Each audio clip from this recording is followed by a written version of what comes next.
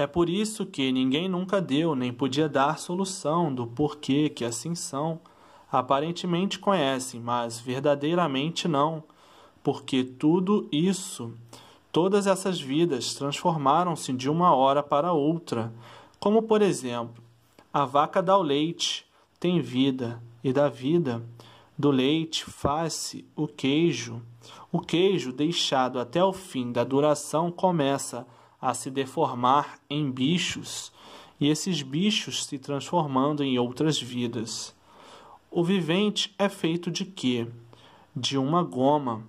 A esta goma dão o nome de espermatozoide, que tem vidas e se transforma em outras vidas microbianas para a formação do corpo humano, que depois de pronto e feito, fica sendo uma fábrica de reprodução de vidas. Humano esse que, ao morrer, transforma-se ainda em outras vidas, que são os micróbios gerados do próprio corpo, e esses micróbios se transformam em outras vidas.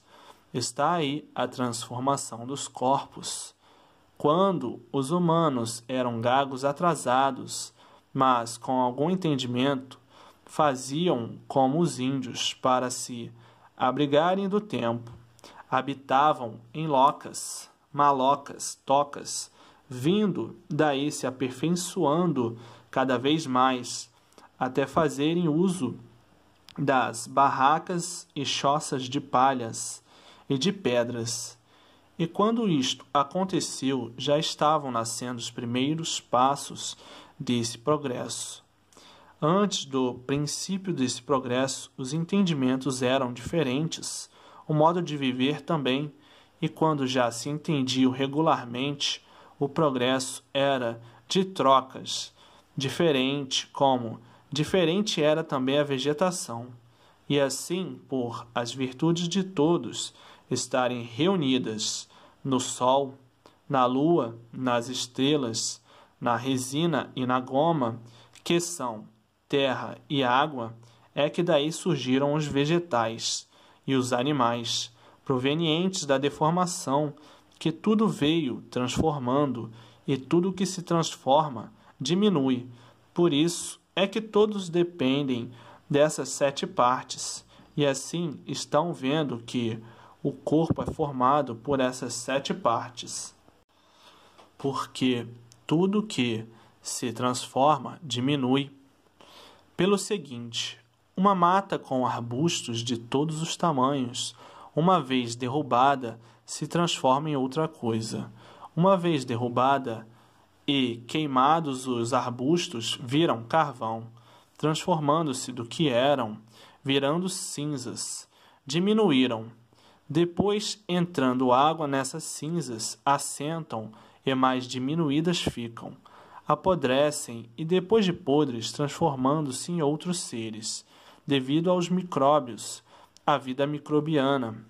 A Terra é uma bicheira produzindo bichos de todas as maneiras, e por isso está aí a formação microbiana, a bicharada.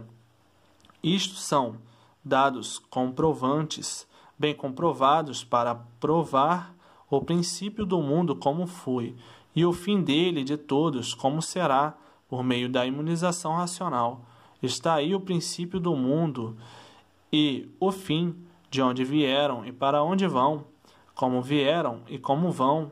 Ninguém soube no mundo de onde veio nem para onde vai.